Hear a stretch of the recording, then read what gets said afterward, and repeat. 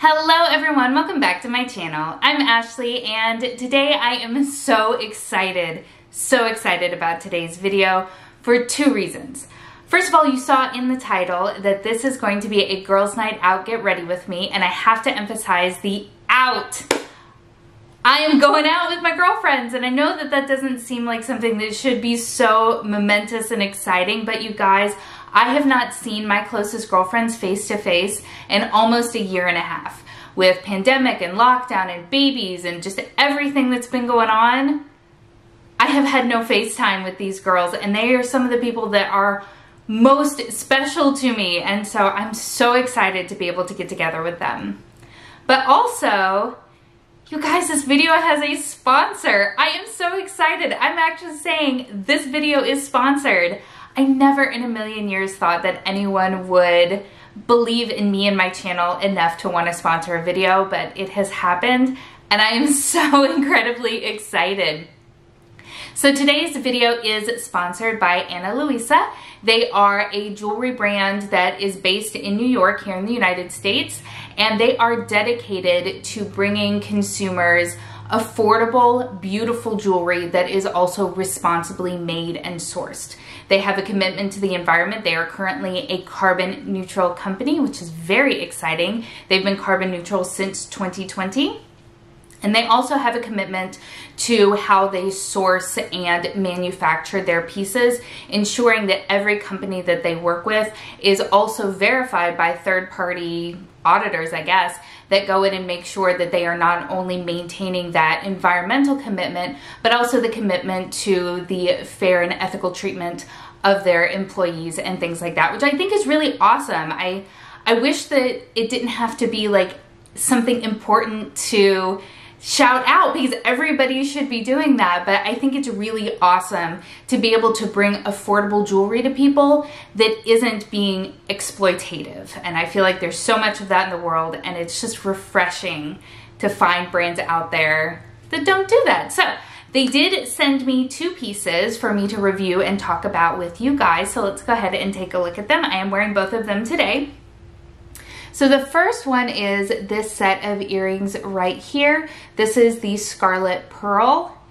And I think that this is just so elegant and sophisticated and I think it's just so pretty. So it's got two gold hoops with a freshwater pearl in the center and I just love it. I think it's so dainty and pretty. It's very comfortable. I don't feel it like poking into the back of my neck, which is nice. And I don't know if you guys know this about me, but I love pearls. I was born in, in June. The pearl is one of my birthstones and I absolutely love it. One of my most cherished belongings is actually a pearl necklace that my grandfather brought back from Japan on business and gave to my grandmother and then got passed on to me. I wore it to my wedding. I have such a love for pearls and this is just so perfect and pretty. You can wear it on its own like I am today or you can pair it with some really nice necklaces and things like that. But oh, I thought that this was going to be my favorite piece. But they also, don't worry, I'm gonna balance it out. They also sent over this right here. So this is called the Duo. And I think this one is actually my favorite. I have been wearing this like non-stop. You've probably seen them in some of my videos and Instagram posts. They are just so easy and classy and just, they elevate anything that I put them with, whether it's a jeans and t-shirts kind of day, whether I'm running around in my yoga pants, I mean, whatever the case may be, these just make you instantly look so much more put together. I love that it's got kind of um, a broken area. It's not broken, it's a hinge. There we go. It's got a hinge in the center of the bigger golden hoop so that the pieces actually fit together. It just makes it so comfortable. I forget that I'm wearing them. They're beautiful and they don't attract the attention of the girls so I don't have to worry about them getting, you know, manhandled. But oh, Ana Luisa did send over a discount code for you guys. It's not an affiliate link. I don't get any sort of commission off of it, but it does give you guys a discount and they are currently running their summer sale. So that will be down in the description box below. So if you're interested in checking them out, I absolutely recommend them. I think these pieces are just so stunning. So enough rambling from me. Let's go ahead and get into the get ready with me. Alrighty, so I wore this look a few videos back to absolute rave reviews. In fact, one of you even asked for a tutorial. So baby, this video is for you. So let's go ahead and talk about the palettes that I'm going to be using today. I'm going to be using this one here from Too Faced. This is the Natural Lust palette. This was released a few years ago. To be honest, I don't remember what palette I used in that look for that video, but it doesn't matter for this part. This is just for the crease. The real star of the show comes from this palette right here. This is my Nabla Cosmetics Poison Garden palette, and the shade that we are going to be using from this palette is this shade right here called Adoration. It looks white in the pan, but it has the most incredible ultraviolet purple flip to it. You're gonna see it. It is so, so much fun. Technically, you could probably achieve a look super similar to this using just this palette here, but on my skin tones, they tend to be a little bit more vibrant than what I'm looking for for my crease here. So that's why we're pulling in this guy right here. So for this, I have already put down my eyeshadow primer. I am still using and loving from the Ulta House brand. This is the Matte Eye Nude Primer. And then I just set it down with a combination of this shade right here, which is Buff It Out, and Silk Robe right here. Silk Robe was actually a little too pigmented, so I just sort of dipped back and forth between the two. And what we're gonna do is we're gonna start by putting down just a really nice light pink transition. So I think what I'm gonna use for that is this shade right here called Take the Cake. And I'm just gonna be super messy and super sloppy, just laying that color down. What we're gonna be doing is we're gonna be building a few different pink layers here so that we get a nice little gradient effect. So as I mentioned in the intro for this, I am going out with my girlfriends tonight and I am so stinking excited. It has been a very, very long time since I have seen them. I have not actually seen them since before lockdown. So I have not seen them in a year and a half, which is wild, absolutely wild because these are actually some of my closest girlfriends. And I, I hate that we haven't seen each other. It's just, with everything that was going on last year during the lockdown and then with the birth of my kids, some of these girlfriends of mine have kids. One of them is pregnant. So, I mean, there's just been so, so much going on and it's to feel really, really good to finally get to sit down and see these girls in person. I mean, we talk via text and, and stuff like that all the time but it's, as you know, it's just not the same. It's just not the same. So, all right, now that I have that down, I'm gonna take this brush right here. This is from Sonia Kashuk. It is the small eyeshadow brush. It's just a really small flat packing brush and I'm gonna take this shade Come and Get It which is this deeper dusty pink right here and I'm gonna pack that into the crease itself and then I'll blend it out a little bit from there. But yeah, so I mean, it's still a little bit nerve wracking because there's still so much going on in the world from, again, the pandemic standpoint and the Delta variant and everything. So that's a little bit nerve wracking, but where we're going to be has a beautiful rooftop area. They actually renovated it specifically because of the pandemic and to be able to cater to people, which is pretty awesome. Not a lot of places kind of had the ability to pivot like that, but this place did. And I don't know, honestly, why they hadn't done it before that, because I don't know, there's something just really fun about the idea of rooftop dining. I don't know, perhaps it'll be crazy, but I think it seems like a really fun idea. So I'm very, very much looking forward to this this evening and it's going to be Italian food which I absolutely love. It is going to be just a pasta fest for me. I know that that is not the only type of Italian food. In fact, that is what I try to convince my husband of because he is not a big pasta fan and so anytime I want Italian, He's like, oh, I don't really like Italian. I'm like, yes, you do. You just don't like the kind of Italian that I'm in the mood for. So that will be a lot of fun. And, you know, I'm just hoping for a really just chill and relaxed evening out with some of my best girlfriends and to pretend for just a moment that life is normal. I think that's what it is as well, is just to pretend that life is normal, but to get caught up and actually see everybody is going to be really nice. So all I'm doing is I'm going back in to come and get it and I'm just re-emphasizing the crease and then I'm going to blend it out just until I get the gradient that I am looking for which I think we're pretty close to. These shadows are really nice and blend really nicely. I think as far as Too Faced goes, this is probably one of my very favorite palettes that they've released in recent years. I feel like Too Faced can be really hit and miss. They spend a lot of time and energy on their packaging, but then sometimes the shades and the formula inside aren't always the best. So I really do enjoy this particular palette though. Okay, so now that we have the crease where I want it, we're actually gonna take the black down here in the corner. It's called Blindfolded. Again, this is something that you can use really any palette that has a black in it um, and has kind of the softer sort of pinky purple shades for the crease and I'm just going to pat this very gently and very lightly. You don't necessarily need something that's ultra pigmented because we're just laying down a base for that amazing Nabla shadow.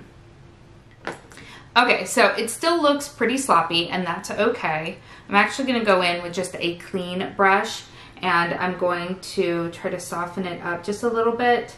We are gonna go back in with some more pink shadow in the crease to help um, with that transition because right now it's looking pretty harsh. Now I do have hooded eyes, so on me, uh, it is always going to look just a little bit more harsh.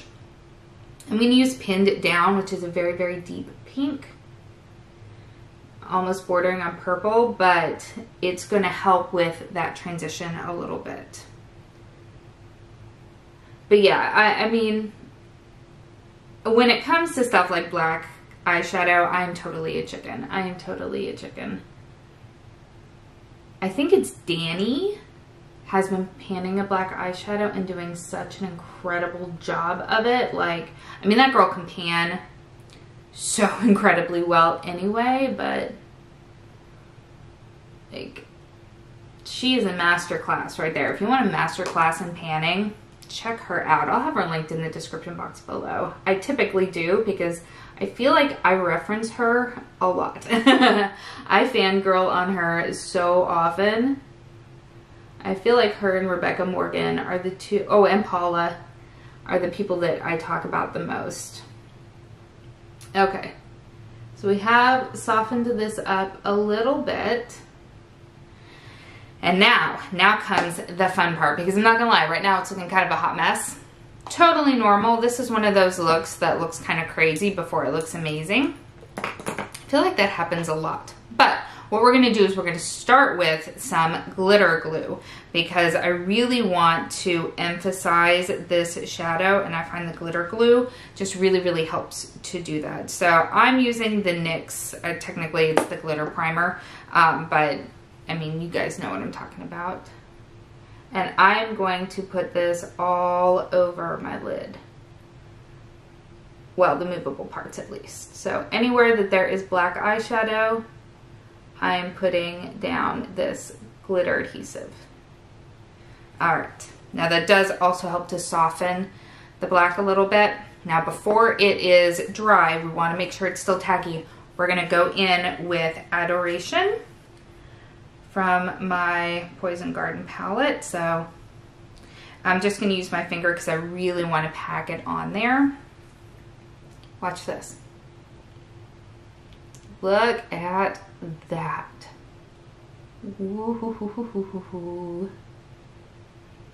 Look at that transformation. I mean, get out of town. All right, I'm gonna go back in a little bit more. I am wiping my finger off on a washcloth that I have in my lap because this is in the pan white. I really wanna make sure I'm going in with a very clean finger so that I don't um, disrupt the shadow itself. Look at that. Oh, so pretty, so, so pretty. Okay, I'm gonna go in and do the exact same thing with the other eye. I just wanna bring a little bit of that crease back, especially in the outer third, because we wanna make sure that we're giving some depth and dimension to the look.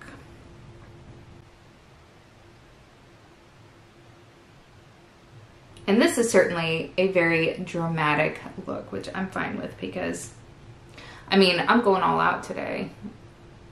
Watch, I'm gonna get there and my friends are gonna be in like yoga pants. and I'm just like,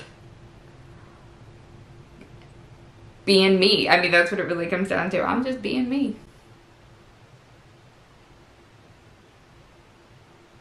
All right, and then we're gonna go back in with a clean brush just soften and blend that in just a little bit.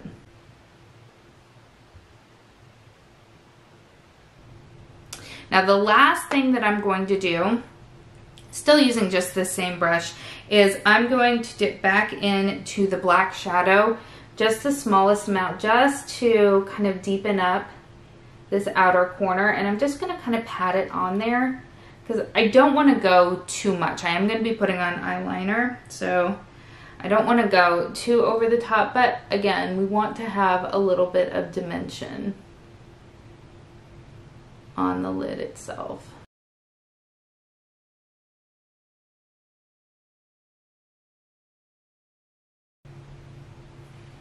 Perfect. Okay, I'm gonna go ahead, I'm gonna jump off camera, I'm gonna clean up where I always just overblend the daylights out of it put on my face makeup, and then we'll come back and we'll finish it up.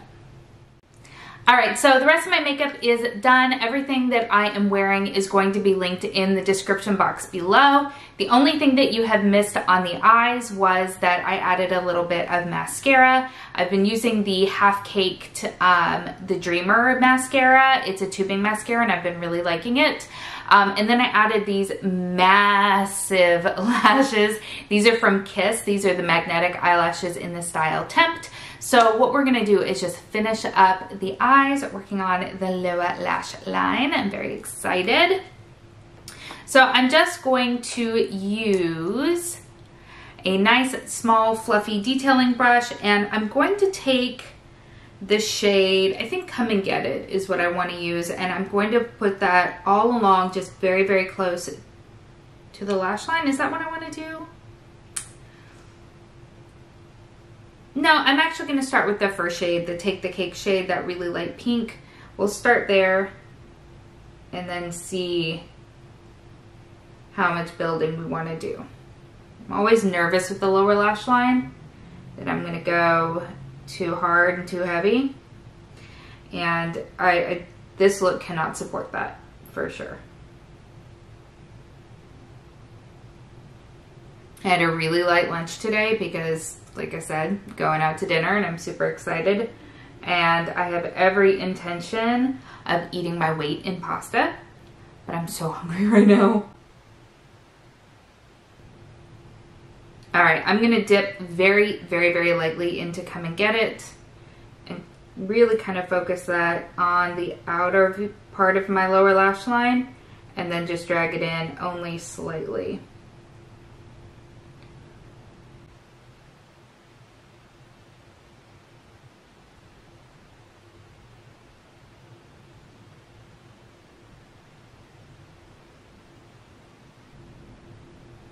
Beautiful. Okay, and then I'm actually going to take my eyeliner. This is the pencil eyeliner from Winky Lux, the Feliner in the shade Bow Tie. And I'm gonna go ahead and line my waterline using just a flat detailer. I'm gonna go into Pinned Down and I'm just going to smudge out that eyeliner just right up against the lashes definitely don't want this to go out of control.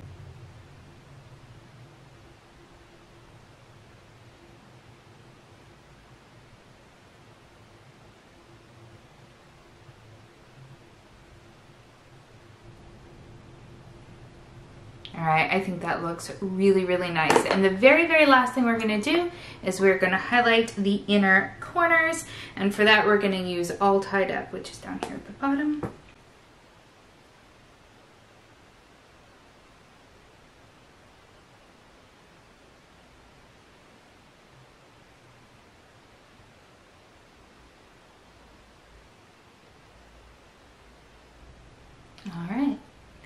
Now with all the makeup done, let's go get dressed and see the final look all together. All right, so here we are in my room and I finally decided on something to wear. So what do we think? What do we think? I have not worn a dress in so long, guys. I have not worn a dress, I think since I was pregnant and, you know, just couldn't fit into anything else. I'm so, I don't know, I feel just so summery and flirty. What do you think? Cute? Let me show you the shoes.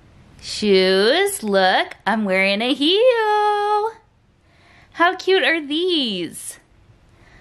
Again, something that I haven't worn in ages, but that I totally love. I used to wear these constantly, and I think they go really nicely. All right, so dress, good. Shoes, good. Can't forget the bag. What do we think? Going out good? All right, let's check them off. Makeup, done. Hair, done. Dress, on. Shoes, on. Jewelry, on. Bag in the chair. We are ready to go, and I am, as I said, I am so excited. I know that I'm a broken record, but that's okay. Hopefully y'all will forgive me and love me anyway. Thank you again to Ana Luisa for sponsoring this video. I love you guys so much for that and I really genuinely appreciate in the fact that you guys believe in me so much. Please check the description box below for that discount code if you're interested in any of these pieces or any of the other jewelry that Ana Luisa offers. They have gold jewelry, silver jewelry, they have freshwater pearls like the ones that I'm wearing today. They also have diamond jewelry. It's conflict-free diamonds. They're lab grown so you can feel good about what you're wearing. And yeah, as always, everything that I am wearing will be linked in the description box below, and if you've not yet subscribed, I hope that you'll consider doing so. Thank you so much for spending some time with me today. I hope that you are having an amazing day, and I will see you next time. Bye.